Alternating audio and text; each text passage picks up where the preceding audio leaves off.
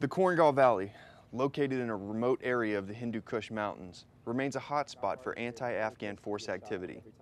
Soldiers from Baker Company, 2nd Battalion, 12th Infantry Regiment regularly travel into the mountains surrounding the Korengal outpost just to draw out enemy combatants.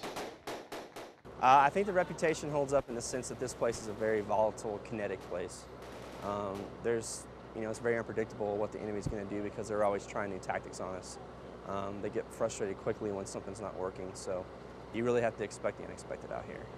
20s or 155s? Uh, pretty typical for us to go pretty much to any village um, near the Honcho Hill or 1705 Hilltop area and take contact. That is probably a, a typical engagement that we have. The uh, enemy will engage us for a short amount of time, and then as soon as we start to um, engage them with indirect fire assets, they normally break contact.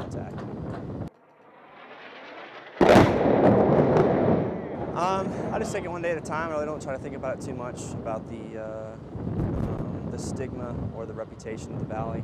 We just go out and do our job, and uh, we all try to do it to the best of our ability, and we just go from there. Army Staff Sergeant Calvin Esslinger, Korengal Valley, Afghanistan.